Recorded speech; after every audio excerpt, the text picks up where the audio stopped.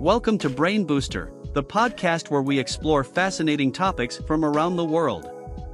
Today, we're going to take a closer look at Ghana, a country located on the west coast of Africa. We'll be discussing its rich history, vibrant culture, and current events. Ghana is known for its diverse landscapes, from the lush rainforests to the sandy beaches, as well as for its vibrant music and art scene. The capital of Ghana is Accra, and it is located in West Africa, bordered by the Ivory Coast to the west, Burkina Faso to the north, Togo to the east, and the Gulf of Guinea and Atlantic Ocean to the south. We hope you'll stay with us for this journey and learn something new about this fascinating country. Ghana has a rich and diverse history that has been shaped by a variety of different cultures and civilizations. One of the most important historical events that shaped Ghana was the rise of the Ashanti Empire in the late 17th century.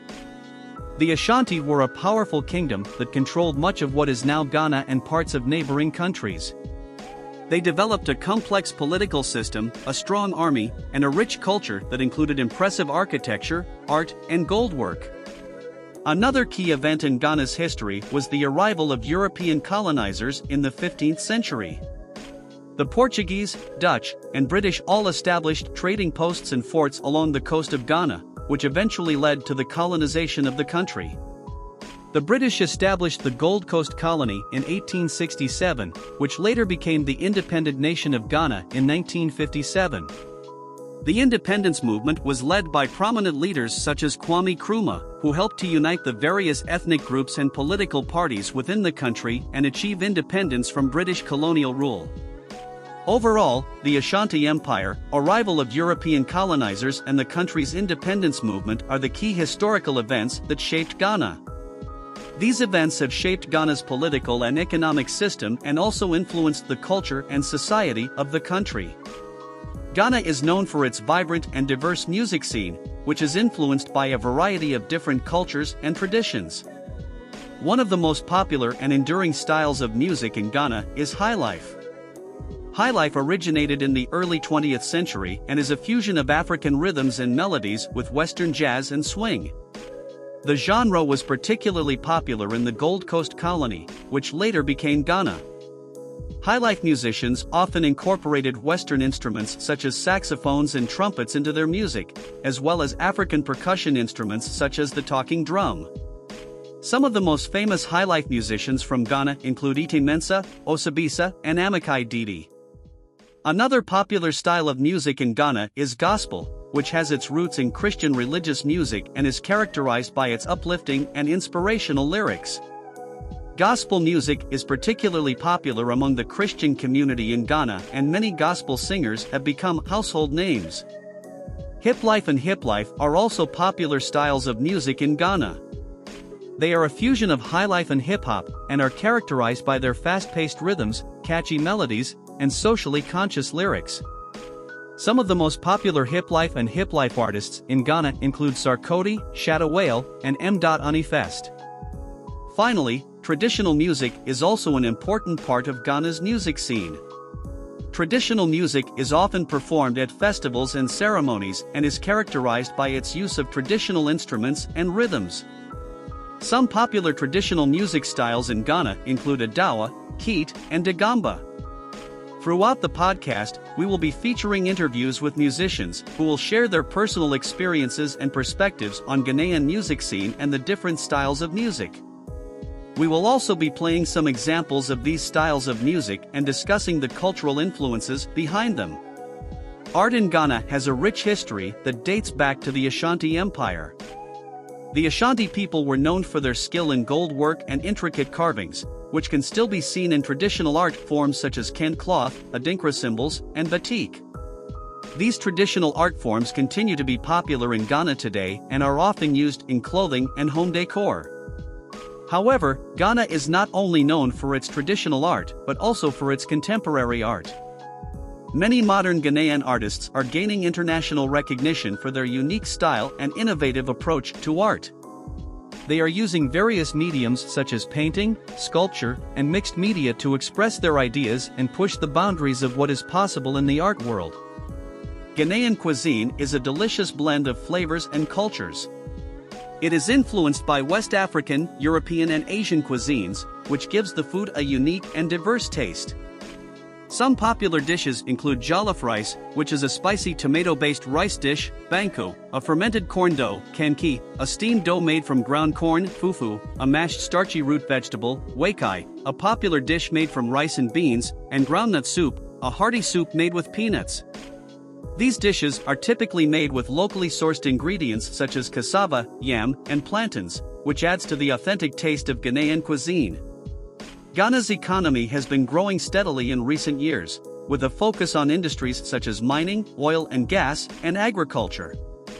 The country is a significant producer of gold, cocoa, and timber, and the mining and oil and gas sectors have been major drivers of economic growth.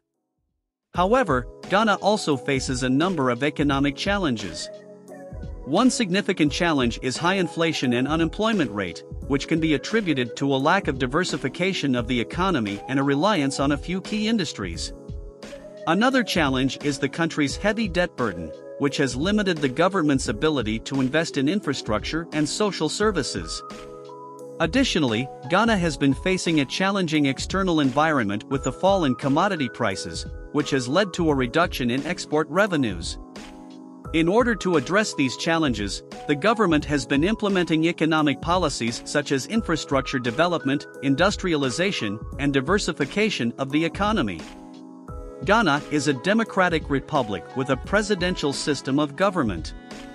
The president serves as both the head of state and the head of government and is elected by popular vote for a four year term.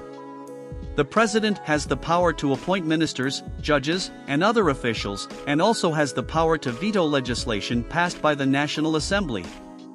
The National Assembly, which consists of the 275 member parliament and the 27 member Council of State, is responsible for making laws and overseeing the government. The parliament is made up of members of parliament, MPs, who are elected by popular vote in individual constituencies, while the Council of State is made up of appointed and elected representatives. Recent political developments in Ghana include the 2020 general election which was won by Nana Addo Dankwa Akufo-Addo of the New Patriotic Party, NPP, who won a second term as the President of Ghana. The election was peaceful and marked the fourth consecutive change of power through the ballot box since the return to democracy in 1992. Another recent development is the formation of the 8th Parliament of the Fourth Republic of Ghana, which was inaugurated on January 7, 2021. The new parliament has seen the emergence of new leaders as well as a new balance of power between the ruling party and the opposition. Welcome to our podcast on Ghana's tourism industry. Ghana, located in West Africa, is a country known for its rich culture, history, and natural beauty. In recent years, the country has seen a steady growth in its tourism industry, with more and more visitors coming to experience what Ghana has to offer. With a wide range of destinations and attractions to choose from, Ghana is becoming an increasingly popular tourist destination. From its bustling cities to its lush national parks, and from its rich cultural heritage to its stunning beaches, Ghana has something for everyone. With its growing tourism industry, Ghana has the potential to become a major player in the African tourism market. In this podcast, we will take a closer look at some of the top destinations and attractions in Ghana and what visitors can expect when they come to this beautiful country. When it comes to popular destinations in Ghana, Accra, Cape Coast, and Kumasi are at the top of the list. Accra, the capital city of Ghana, is a bustling metropolis with a vibrant atmosphere. Visitors can explore the city's many markets, museums, and historical sites, including the Independence Square and the Kwame Nkrumah Memorial Park. Accra is also known for its lively nightlife and delicious street food. Cape Coast, located on the coast, is another popular destination for visitors. This city is home to several important historical sites, including the Cape Coast Castle and the Kakum National Park. The castle was a major center for the transatlantic slave trade, and visitors can learn about the history of the slave trade and its impact on Ghana. Kakum National Park is a beautiful rainforest reserve where visitors can walk on the canopy walkway suspended 30 meters above the ground. Kumasi, located in the Ashanti region, is the cultural heart of Ghana and the former capital of the Ashanti Kingdom. Visitors can explore the city's many historical sites and monuments, including the Manhyia Palace Museum and the Prempeh II Jubilee Museum.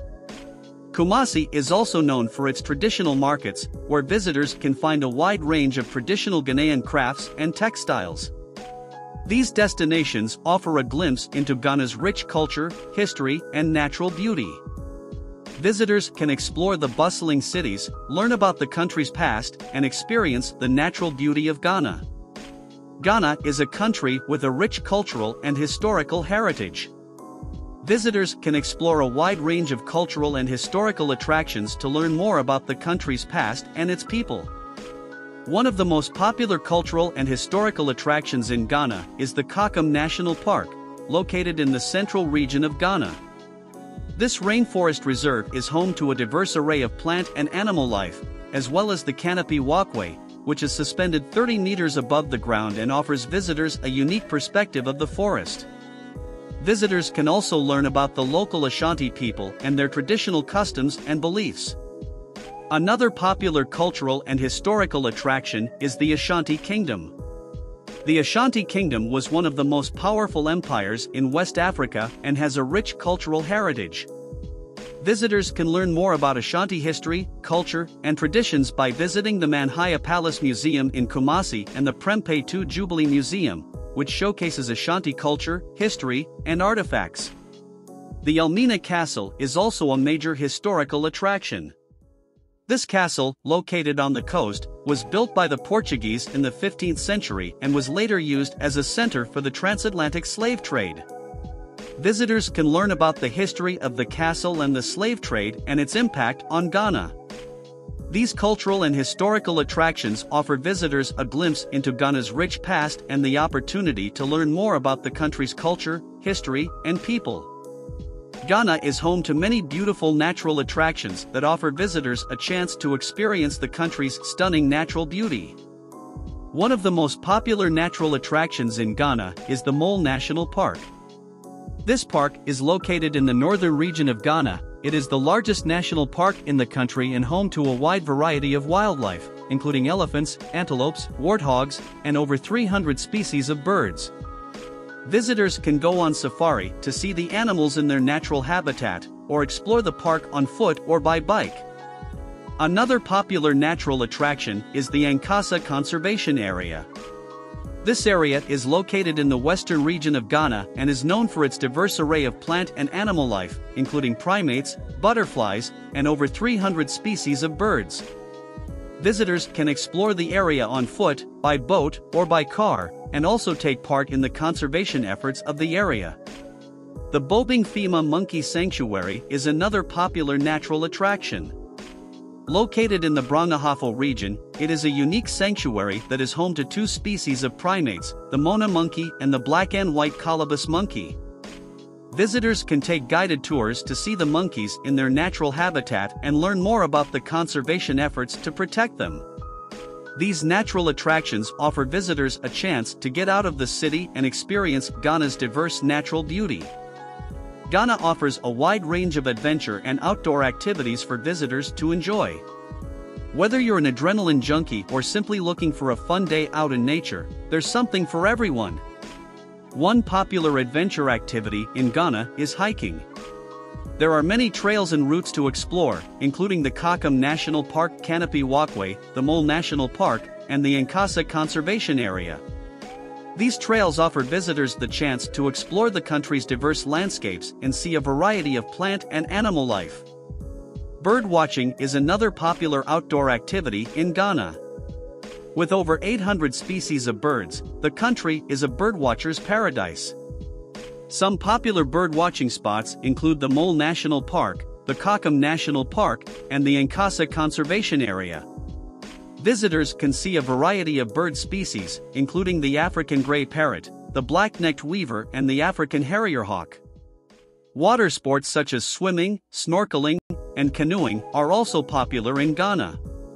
The coast of Ghana offers some of the most beautiful beaches in West Africa.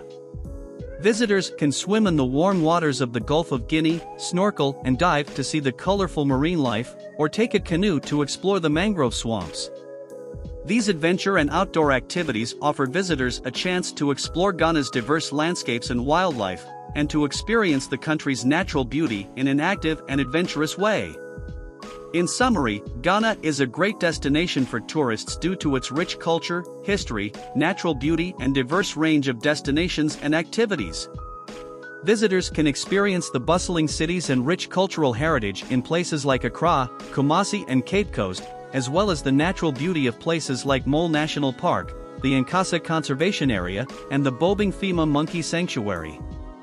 The country also offers a wide range of adventure and outdoor activities such as hiking, birdwatching, and water sports. When visiting Ghana, tourists can expect to be welcomed by friendly locals, to enjoy delicious local cuisine, and to experience a unique and diverse culture.